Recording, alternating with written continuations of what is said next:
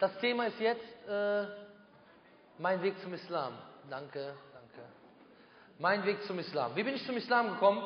Der eine oder andere fragt sich vielleicht auch, vielleicht der nicht, fragt sich, wie kann man nur zu so einer Religion übertreten? Wie kann man nur Terrorist werden? Wie kann man nur? Ja. Wie kann man sich nur so verunstalten und sich so ein Bart wachsen lassen im Gesicht? Kann man nur? Denkt sich vielleicht ein oder andere. Könnte ja, also ich weiß, der eine oder andere denkt sich das, aber ich denke, derjenige, der sich das denkt, der kommt heute nicht hierhin. Dazu erzähle ich erstmal etwas über mein Leben, weil das ist vielleicht für den einen oder anderen nützlich, die Gedankengänge dahinter zu verstehen. Ich war Christ gewesen, und zwar Protestant. Ich ging auf eine für heutige Verhältnisse streng christliche Schule, die von Mönchen gebaut wurde. Und es wäre schön, wenn man unter, zwischendurch das Reden unterlässt, weil das lenkt auch andere Leute ab. Eine, wenn man reden will, kann man sich gerne draußen unterhalten, das ist gar kein Problem. Ja? Nur das lenkt halt die Leute ab, die gerne den Vortrag mitkriegen wollen. Ja? Okay.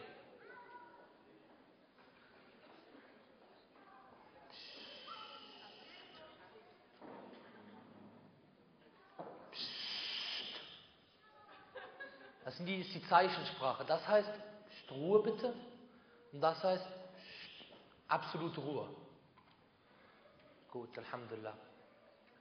Jedenfalls, ich war Christ gewesen. Ich war zwar Protestant, aber ich bin auf eine katholische Schule gegangen, bei der auch die Religion sehr ernst genommen wird. Die ist von Mönchen gebaut worden. Norbert Gymnasium Knechtstehen, für den, den es interessiert, kann er mal im Internet nachgucken. Auf jeden Fall, in dieser Schule haben wir einige Werte vermittelt bekommen. Christliche Werte. Ich würde sagen, äh, es war nicht so tiefgründig theologisch, aber doch, dass wir sehr viele Werte gelernt haben, christliche Werte. Und ich denke, dass die auch sehr identisch sind mit den islamischen Werten. Und dass leider bei vielen Muslimen diese Werte nicht wirklich gelehrt werden, obwohl sie eigentlich Werte sind, die im Islam auch vermittelt werden sollten. Und hierzu meine ich beispielsweise Zivilcourage. Das ist etwas, was dort sehr, sehr ver, äh, äh, verbreitet wurde oder sehr gefördert wurde.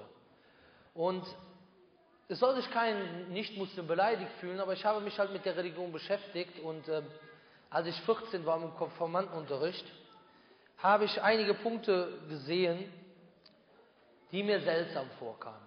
Ich denke, der eine oder andere Christ hat vielleicht eine Antwort darauf, aber der Pfarrer zu diesem Zeitpunkt hatte keine Antwort darauf und es ging beispielsweise um den Namen oder den Begriff Jesus von Nazareth. Und es heißt, dass man immer nach dem Ort benannt wird, wo man geboren ist. Und da habe ich gesagt, dann müsste er Jesus von Bethlehem heißen, weil laut christlicher Lehre ist er in Bethlehem geboren. Daraufhin meinte der Pfarrer, dass aber heutzutage einige davon ausgehen, dass er eigentlich nicht in Bethlehem geboren wurde, sondern dass das in der Bibel verändert wurde, um auf eine Voraussage im Alten Testament zuzutreffen. Ja? Und äh, wenn man sich dann die Geschichte nachher anguckt, das ist etwas, was einige Bibelwissenschaftler sagen, also das ist nicht an den Haaren herbeigezogen, das ist etwas, was einige sagen, sicherlich sind einige der anderer Meinung, aber ähm, für mich, dass er, für mich war es so, dass dieses Eingeständnis von ihm eigentlich ein Zeichen war, wo ich mir gesagt habe, wenn sogar hieran gezweifelt wird, an der Weihnachtsgeschichte, wie kann ich diesem Buch Vertrauen schenken? Und im Nachhinein habe ich mich mit der Sache auseinandergesetzt und es geht darum, dass Bethlehem eigentlich südlich von Jerusalem liegt. Ja? Und dass Josef und Maria in Nazareth gelebt haben und nach Bethlehem gegangen sind. Aber warum? Weil, jo, weil es eine Volkszählung gab und wegen dieser Volkszählung haben die Römer alle ihren Heimatort, in dem sie geboren sind, zurückgerufen. Hier sagt man sich natürlich, wenn Maria hochschwanger ist und Maria ist nicht in Bethlehem geboren, warum nimmt Josef Maria auf so eine schwere, weil wir hatten damals keine Autos, keine Bahnverbindung, mit auf so eine schwere Reise bis nach Bethlehem? Die zweite Frage, die man sich stellt, ist, dass normalerweise eine Volkszählung nicht in dem Geburtsort stattfindet und das auch ziemlich schwer zu oder dass es fast unglaublich ist zu glauben, dass die Römer es schaffen konnten, zur damaligen Zeit alle Leute in ihren Heimatort zurückzurufen. Denn die Menschen sind beschäftigt. Nicht jeder hat Zeit, einfach mal äh, ein paar Tage äh, zu wandern. Ja, selbst von der heutigen Zeit, wo wir äh, Bus, Bahnverbindungen, Autos haben, ist dies sehr schwer möglich, weil jeder hat seine Beschäftigung. Zur damaligen Zeit vielleicht lebensnotwendige Beschäftigung. Ein anderer Punkt ist, dass rein historisch bewiesen ist, dass eine Volkszählung schon einige Jahre vorher stattfand und dass normalerweise in solchen kurzen Abständen keine Volkszählung gemacht wird. Das nur dazu, das kann gerne jemand anderer Meinung sein. Das ist ein Punkt. Im Nachhinein habe ich mich mit der Bibel beschäftigt und einige Punkte gefunden. Ich weiß, es gibt einige Leute, die Erklärungsversuche haben, aber die wirken bei mir nicht, weil sie für mich nicht plausibel sind. Wie zum Beispiel, dass in Matthäus 27, Vers 4 steht, dass Judas, der der Jesus verraten habe, dass er Selbstmord begangen habe. Matthäus 27, Vers 4. Dort steht, er erhang sich. Es reute ihm und er geht in den Tempel und will dort das Geld zurückgeben, das er für den Verrat bekommen hat. Und die Pharisäer sagen, was haben wir mit dem Geld zu tun? Da ist Blut dran. Und dann nimmt er dieses Geld, schmeißt es in den Tempel, geht hin und erhängt sich. Daraufhin sammeln die Pharisäer das Geld auf und kaufen davon einen Acker. In Apostelgeschichten 1, Vers 18, dieselbe Geschichte, steht, dass, Judas, dass es ihm nicht gereut hat, sondern dass er dieses Geld genommen hat, hat davon einen Acker gekauft und auf diesem Acker stürzt er hin, sein Leib war auseinander und seine Eingeweide fielen hinaus. Es gibt einige Leute, die das so erklären wollen, dass sie sagen, Judas habe sich den Acker gekauft, äh, Judas wäre, hätte sich erhangen und wäre, dann wäre der Ast gebrochen und er wäre dann runtergefallen und die Eingeweide fielen hinaus. Allerdings, der Kontext weist nicht darauf hin. Und außerdem ist es schwer zu glauben, dass der Ast bricht, nachdem man schon gestorben ist. Und das griechische, das griechische Wort ist erhängen, dass er bei dem Erhängen gestorben ist. Die andere Sache ist, dass einmal steht, er habe das Geld weggeworfen und bei dem anderen Mal steht, er habe den Acker selber gekauft. Aber Geld wegwerfen. Ich könnte zum Beispiel sagen, okay, der Kauf, zum Beispiel ich gebe ihm Geld und sage, kauf mir mal eine Cola. Dann kann man den Kauf mir zuschreiben und ihm. Dem Nordin, ne, falls jemand Interesse hat. Hier. Also, dann kann man dem Kauf mir zuschreiben und ihm, weil ich ihn beauftragt habe. Aber wenn ich sage, hier, dein dreckiges Geld will ich nicht und schmeiße es ihm zu, dann kann ich den Kauf nicht mir zuschreiben. Wenn er danach aus eigenem Willen davon einen Acker kauft. Okay, wer eine andere Meinung hat, es gibt noch andere Beispiele. Esra 2, Nehemiah 7, insgesamt 18 unterschiedliche Zahlen. Es wird der, die Auswanderung der Israeliten aus äh, Babylonien erwähnt. Dabei werden die einzelnen Stämme erwähnt, wie viele Personen von einzelnen Stämmen ausgewandert sind. Dabei gibt es 18 Widersprüche. Da habe ich mir gesagt, oder zur damaligen Zeit schon, die anderen Dinge habe ich später dann herausgefunden. Es gibt noch viele Listen. Sicherlich, wir wollen damit keinen Christen beleidigen, aber für mich war das ein Zeichen, dass ich auf dieses Buch nicht 100% vertrauen kann. Trotz der ganzen Dinge, die positiv sind da drin, aber das war für mich der Punkt, wo ich mir gesagt habe, vorbei. Und meine Mutter sagt immer, ja, du warst ja sehr gläubig. Ich habe mich eigentlich nicht so eingeschätzt. Ich würde mich eher als einen interessierten, als einen engagierten Christen zur damaligen Zeit betrachten. Auf jeden Fall habe ich daraufhin gesagt, wenn wir einen Gott haben und er hat uns als Menschen erschaffen mit, dieser, mit diesem Bewusstsein, darüber nachzudenken, wo kommen wir her wo gehen wir hin und was ist der Sinn unseres Lebens, dann ist es auch notwendig oder die Logik macht es notwendig, dass dieser Gott sich mit dieser Schöpfung, mit diesem Geschöpf Mensch, dass er mit ihm kommuniziert. Und wenn wir sagen, dass, dass er mit ihm kommuniziert, muss diese Kommunikation erhalten bleiben für die Menschen als Rechtheit und perfekt in ihrer perfekten Form. Wenn das nicht der Fall ist, so sagte ich, so sage ich mir, und es gibt keine, heutzutage gäbe es keine, äh, kein Buch, zu dem man zurückgehen kann. Und keine Erwartung, dass noch ein Buch kommen würde, auf das man zurückgehen kann. Dann gibt es auch keinen Gott. Gott kommuniziert mit dem Menschen. Auf jeden Fall habe ich dann, war ich dann in so einer Phase, wo ich immer zwischen dem Glauben an Gott, Deismus und dem Atheismus geschwankt habe. Ich wusste nicht, gibt es einen Gott? Zweifel habe ich gehabt, ja. Gibt es einen Gott, gibt es keinen Gott? Und dann habe ich mich mit verschiedenen Religionen beschäftigt, aber nicht besonders intensiv, weil ich war in dieser Zeit sehr intensiv beschäftigt mit, ich war damals Profiboxer. Ich bin im Alter von 16 Jahren, von, von 16 Jahren bin ich auf ein Internat gegangen nach Berlin, und zwar Ostberlin, also ehemaliges Ostberlin, auf eine ehemalige KJS das sind die Sportschulen, deswegen war die DDR auch so erfolgreich gewesen. Deswegen habe ich auch sehr, sehr viele Bekannte äh, in, der, also in der ehemaligen DDR. Auch Verwandte übrigens. Ja. Aber auf jeden Fall, ich bin dann fünf Jahre da auf das Sportgymnasium gegangen. Und als ich dort war, in der ehemaligen DDR, in der ehemaligen DDR ist es so, äh, ich wollte den Eltern was sagen, wenn die Kinder spielen wollen, ist es besser, wenn man die beispielsweise draußen da in dem Foyer spielen lässt. Weil wie gesagt, das ist dann auch sehr laut hier und das ist gar kein Problem, wenn die da draußen spielen. Also wir haben nichts gegen spielende Kinder, aber wie gesagt, jede Sache hat seinen Platz und das ist dann besser, wenn die zum Beispiel draußen da vor der Tür spielen. Also nicht vor der Tür, sondern hier in der Halle, aber da, wo dann keiner durch die Lautstärke irgendwie äh, abgelenkt wird. Jedenfalls, ich habe dann dort etwas gemerkt und ich habe wirklich ein Studium hinter mir und das ist das Studium des Lebens. Ich habe so viele Menschen kennengelernt der unterschiedlichen Schichten. Spitzensportler. Ich war drei Jahre mit äh, Sven Ottko und Markus Bayer, habe ich fast, jeden Tag zusammen trainiert, die Boxweltmeister.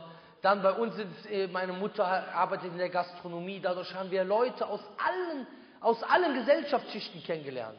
Es kamen auch Fußballstars in unser Restaurant wie Thomas Hessler, der, der, der Fußballtrainer Christoph Daum und so weiter. Also ich habe sehr viele Menschen kennengelernt.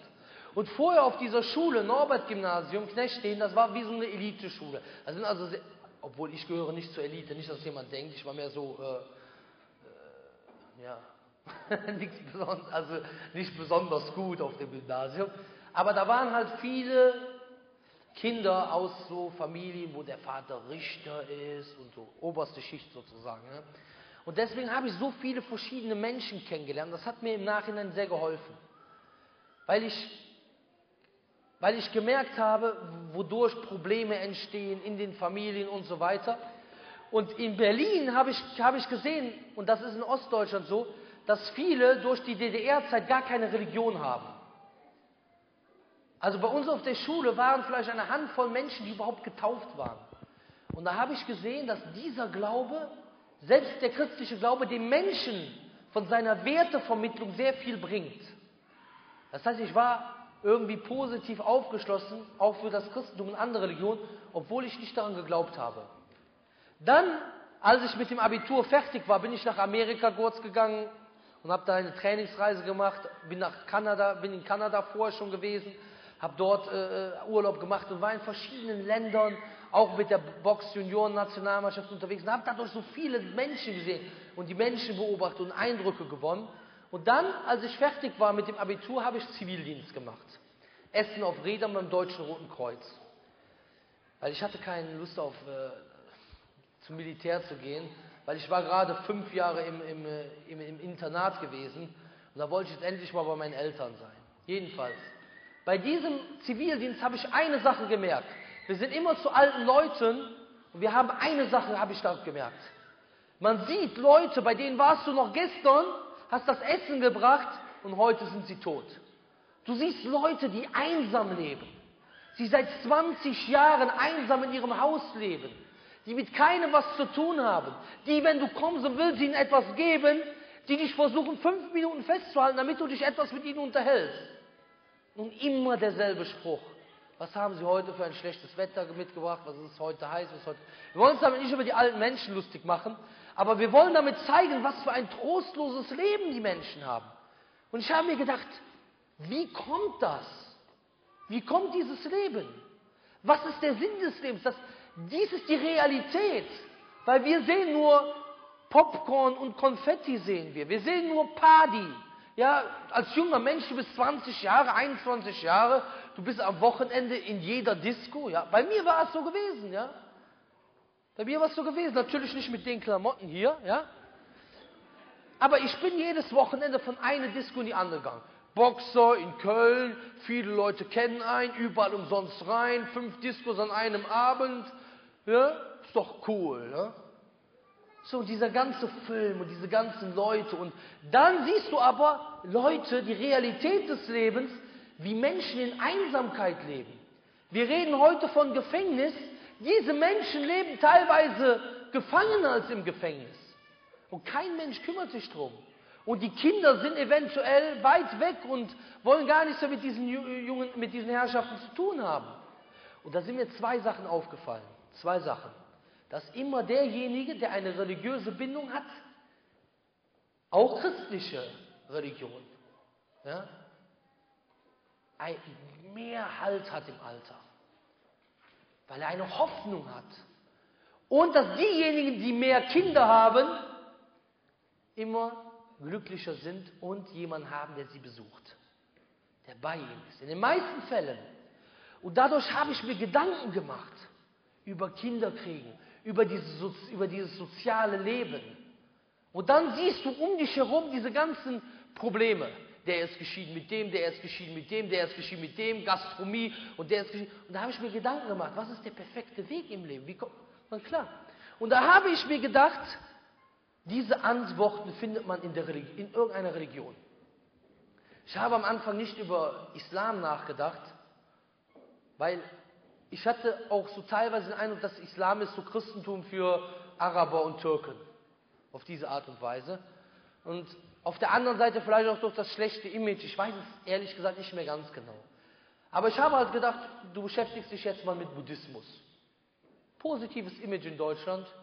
Nicht wie äh, nicht wie äh, Islam, der von solchen komischen Leuten hier gepredigt wird, ja, sondern positives Image. Der Dalai Lama hat für jeden ein Lächeln und so. Da habe ich mir ein Buch damals gekauft, Vergleich von ähm, Buddhismus und Christentum. Ich weiß den Titel jetzt nicht mehr ganz genau. Und da habe ich mir das durchgelesen. Und da habe ich über Zen-Buddhismus gelesen und so weiter. Und, aber ehrlich gesagt hat mich dieses diese Religion nicht gefesselt. Es liegt auch daran, dass beispielsweise Gautama Buddha, der Religionsgründer, 563, das findet man dann ungefähr 563 äh, vor Christus gestorben ist oder geboren, ich weiß nicht mehr genau. Auf jeden Fall, das, was man heute sagt, historisch gesehen, kann das, was vom Buddhismus gelehrt wird, nicht mehr auf Buddha zurückgeführt werden. Und ich habe mich halt weiter beschäftigt, weiter beschäftigt und wollte dann verschiedene Religion, über verschiedene Religionen lesen. Und dann war ich im Zivildienstlager in Trier. Da geht man dann eine Woche hin, wenn man Zivildienst macht. In Trier gibt es so eine Schule, ist ja gar nicht so weit von hier entfernt. Und da habe ich jemanden kennengelernt von einer streng anti-islamischen Gruppe. Und ich habe ihn gefragt, was ist dein, das Ziel in eurer Partei? Also das ist die christliche Mitte Deutschlands. Und der kam aus Salui damals und da hat er gesagt, ja, unser Ziel ist, wir wollen also den, so sinngemäß den Islam in Deutschland beseitigen.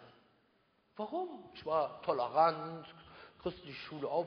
Warum denn? Das ist doch äh, so und jeder hat seine Religion. Die Muslime sind ja noch 600 Jahre zurück. Ja, Mohammed kam ja 600 nach Jesus. So nach diesem Motto war ich damals. Ich hatte ja keine Ahnung vom Islam. Auf jeden Fall, er war und das und die Religion und grausam und boah, Bombe, dies, das, ne, das typische Schema. Und durch diese Beleidigungen habe ich mir danach gesagt, ich möchte mich jetzt mal mit der Religion befassen. Ich möchte mich jetzt mit der Religion befassen. Und das müsste normalerweise, müsste das gewesen sein, Rosenmontag 2000 müsste das gewesen sein. Ich bin mir mal nicht ganz sicher. Weil ich kann mich noch erinnern, weil ich bin dann krank geworden und dann konnte ich nach Hause gehen und Karneval feiern. Und als ich nach Hause gekommen bin, hatte meine Schwester einen Koran zu Hause gehabt. Da ich gesagt, super, das trifft sich gut. Dann beschäftigst du dich jetzt mal hier mit diesem Koran. Da habe ich den Koran aufgeschlagen und habe den von vorne bis hinten durchgelesen. Von der Seite 1 bis zur letzten Seite. Und ich habe die Angewohnheit, ich schreibe immer in Bücher rein. Das war also nur die deutsche Übersetzung. Da habe ich mir immer Sachen, die mir gefallen haben, habe ich unterstrichen. Und da gibt es natürlich auch Sachen, die uh, mit diesem, äh, mit nach dem Westeuropa im westeuropäischen Gedanken Dinge sind, die komisch sind. Kopftuch und so weiter, was steckt denn da? Ja? Und da habe ich dann Fragezeichen gemacht. Wieso? Wieso dies und das? Da habe ich mich damit beschäftigt. Und danach gab es viele Fragezeichen, aber auch viele Antworten.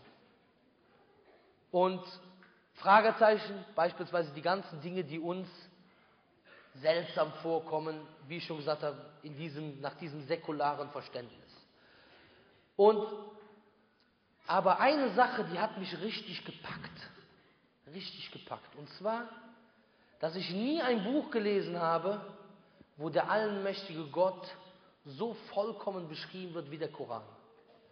Dass ich nie ein Buch gehabt habe, was trotz deutscher Übersetzung mich so gefesselt hat und mir Antworten gegeben hat, warum gibt es gut, warum gibt es böse. Die Frage wurde eben gestellt, wenn Gott die Menschen liebt, warum gibt es das Böse? Warum? Hier ist es erstmal so, Gott liebt nicht jeden Menschen. Laut islamischem Verständnis. Und wir sagen dann auch zu einem Christen, wenn Gott jeden Menschen liebt, warum gehen dann einige Leute für Ewigkeit in die Hölle? Sondern Allah sagt im Koran ganz deutlich, denn dieses Konzept, wenn Gott die Menschen liebt oder wenn Gott gut ist, warum gibt es Böses? Ja? Das ist ein Konzept, was viele Leute in den Atheismus geführt hat. Man sagt ja, Gott ist doch nur gut, der ist für unsere Sünden gestorben. Wie kann es dann böse Sachen geben? Aber die Antwort ist ganz einfach. Das ist kein Beweis dafür, dass es keinen Gott gibt, sondern es ist ein Beweis, dass du ein falsches Konzept von Gott hast. Sondern Gott sagt ganz eindeutig im Koran,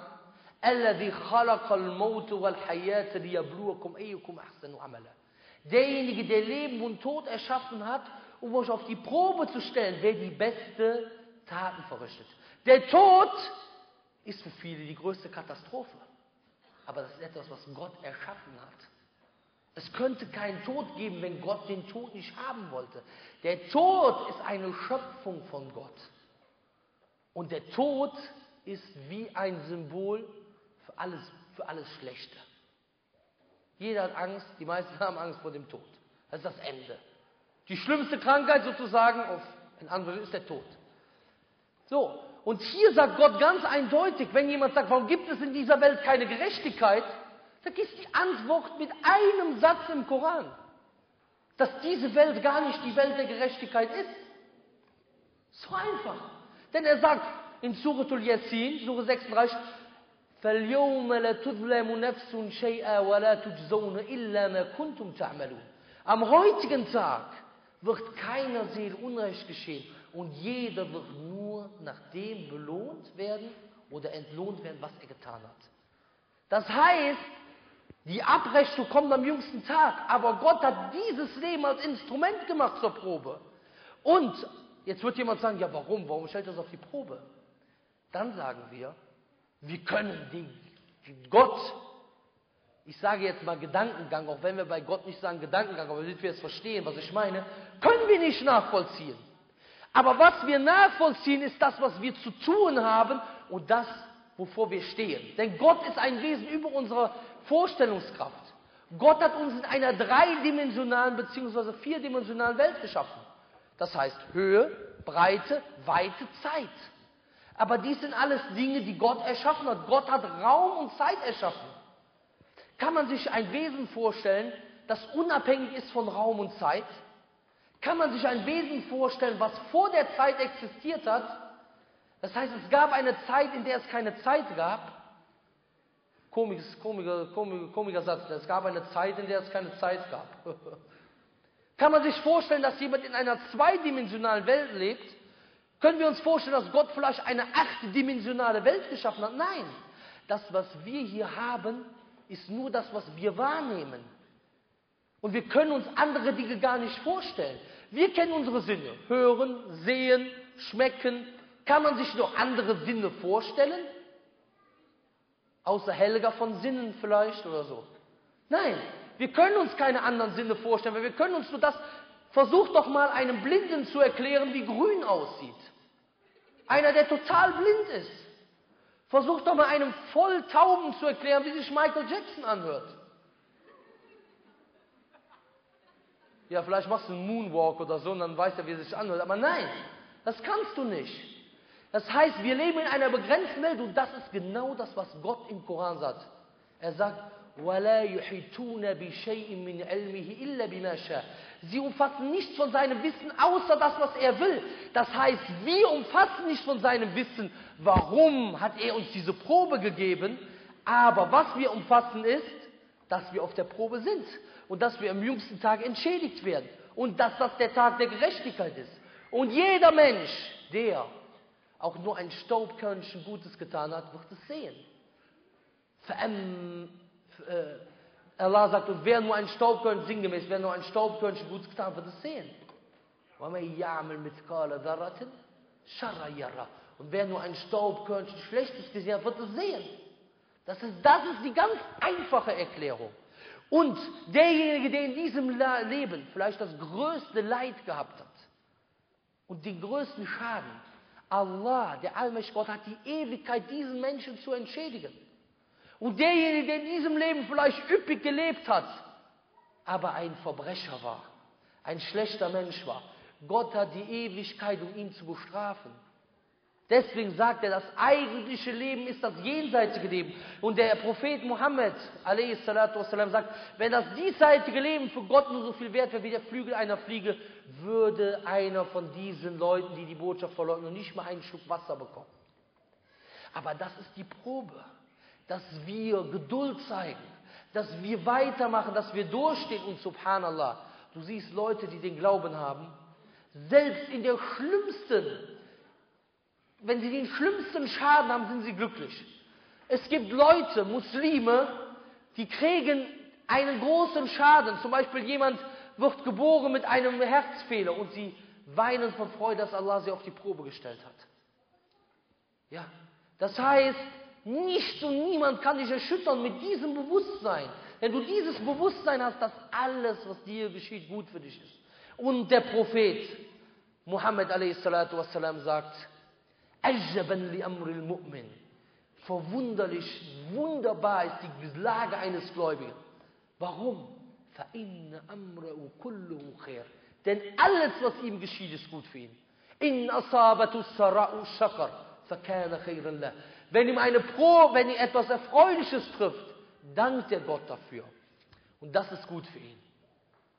وَإِنْ أَصَابَتُ الدَّرَاءُ صَبَرْ فَكَانَ خَيْرًا لَهُ Und wenn ihn eine Probe trifft, dann dankt, dann ist er geduldig und das ist gut für ihn.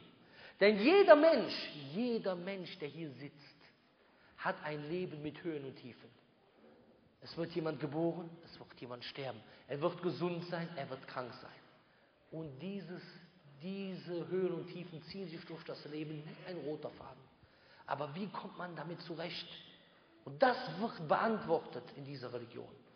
Alhamdulillah. Dann sagt der Prophet والسلام, noch, dass derjenige, der in diesem Leben alles gehabt hat, aber die Bo der Botschaft nicht gefolgt ist, sinngemäß, wenn er am jüngsten Tag auch nur einen ganz kurzen Moment, sinngemäß, in die Hölle getaucht wird, der wird alles vergessen, was er im Guten hatte. Und derjenige, der vielleicht in diesem Leben Schaden hatte, aber gläubig war, er wird diese Sachen alle vergessen. Alhamdulillah. Denn das ist nicht das eigentliche Leben. Das eigentliche Leben ist das jenseitige Leben. Und die Spielregeln hast nicht du gemacht, die hat nicht ich gemacht, die hat Gott gemacht. Ob man die will oder nicht. Viele Leute denken, sie hätten einen persönlichen Gott, wie ein Teddybär. Ja, ja warum Gott, warum Gott, warum hast du das gemacht? Einmal nach dem Tsunami-Unglück, da meinte eine Theologin im deutschen Fernsehen, könnt ihr euch das vorstellen, eine Theologin, da sieht man mal, was für ein Bild von Gott. Oder was für ein Konzept von Gott vielmehr. Wenn ich Gott am jüngsten Tag treffe, dann muss er sich warm anziehen. Mit wem hat dies zu tun, Billah? Das heißt, das sind seine Spielregeln. Die hat er gesetzt, ob du willst oder nicht. Du kannst nicht sagen, ja, ich glaube nicht an Gott, weil äh, ich habe, äh, die Frau hat bei der, bei der Geburt wehen, der Mann aber nicht. Finde ich unfair. Das sind die Spielregeln von Gott, das sind nicht meine Regeln. Das sind die Regeln von ihm. Und diese ganze Konzept, diese ganze Wischi-Waschi, äh, alles, alle kommen ins Paradies, damit wird aufgeräumt, denn das ist unrealistisch. Wir brauchen uns nur um uns herum zu gucken. Alhamdulillah. Wie gesagt, diese Sache hat mich gefestigt, hat, hat mich gepackt, weil das Sinn ergibt. Aber ich wollte den Islam noch nicht annehmen, weil für mich gab es viele Fragezeichen. Und ich habe mir gedacht, ich habe eins, den Glauben an das Christentum verloren und ich möchte jetzt nicht den Islam annehmen und dann auf einmal sehe ich, oh, da ist doch das eine oder andere vielleicht doch nicht richtig oder es gibt einen, den einen oder anderen Widerspruch. Deswegen habe ich danach nochmal die Bibel von vorne bis hinten gelesen. Dann komplett und auch wieder Fragezeichen, dies, das. Und subhanallah, was ich in der Bibel gefunden habe, ist, dass diese ganzen Punkte, die mir nach dem säkularen Verständnis seltsam vorkamen im Koran, dass ich die auch in der Bibel finde. Kopftuch, 1. Korinther 11, Vers 7. Ja, und andere Sachen. Todesstrafe und so weiter und so fort. Findest du alles. Genesis 22, äh, Deuteronomium 25 und so weiter. Du findest diese Sachen. Ich sage mir, ja, das steht dort auch drin. Haben wir gar nicht gewusst. Dann habe ich den Koran nochmal gelesen. Dann habe ich das Neue Testament nochmal gelesen. Dann habe ich den Koran nochmal gelesen. Und dann habe ich mich mit, mit anderen Religionen, Hinduismus, Judentum und so weiter verglichen. Aber für mich hat diese Sache Sinn ergeben. Und gerade Punkte, gerade Punkte, die mir zunächst seltsam vorkamen, haben für mich nachher Sinn ergeben. Warum muss denn die Frau Kopftuch tragen? Was ergibt das für einen Sinn? Und vorher durch meine Lebenserfahrung habe ich gesehen, wie Familien auseinanderbrechen.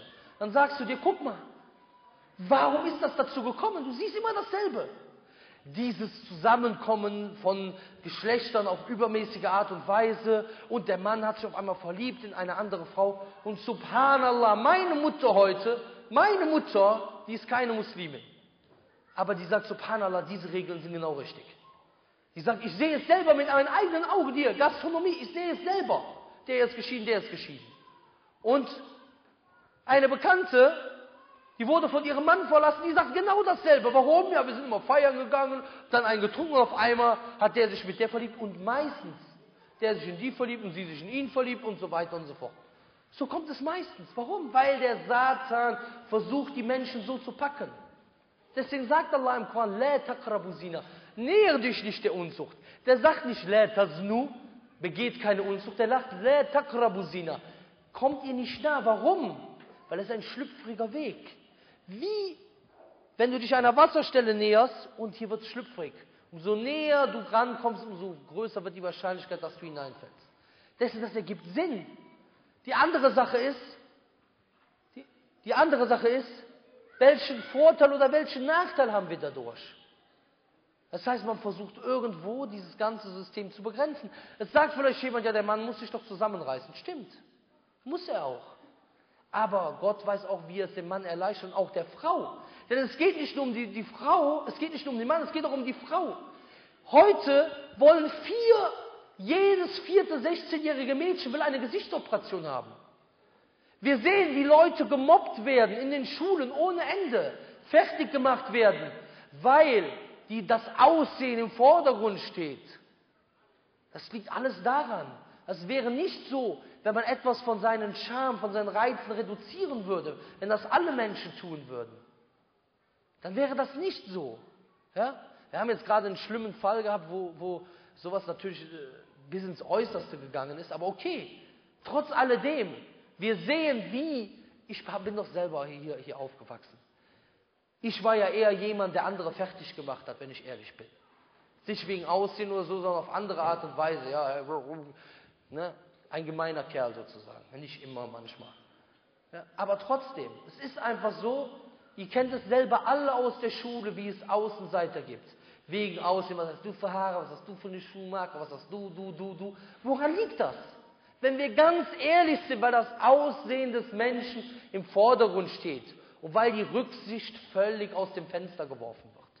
Aber wenn man dieses islamische Bewusstsein hat, sieht die Sache anders aus. Ja? Und so habe ich dann angefangen zu beten. Erstmal. Ich habe den Islam noch nicht angefangen, aber habe angefangen zu beten. Ich habe alles auswendig gelernt, wie betet man und so weiter. Und dann kam mein Freund Jengis Koch, der war damals Kickbox-Weltmeister und war auch bei Olympia 2000 dabei gewesen im Superschwergewicht. Und der hat immer gesagt, komm doch mit in die Moschee, ach du bist doch schon Muslim und hin und her und so. Ich habe gesagt, warte, warte, weil der Satan, der wollte nicht, dass ich diesen Schritt gehe. Der hat mich immer so ein bisschen gezogen. Nein, komm, warte noch, vielleicht, vielleicht findest du noch irgendwas. Vielleicht. Und so. Und eines Tages, da kam ein Sparingspartner aus ähm, Amerika, der hat immer mit Sven Ottke und Markus Bayer Sparring gemacht.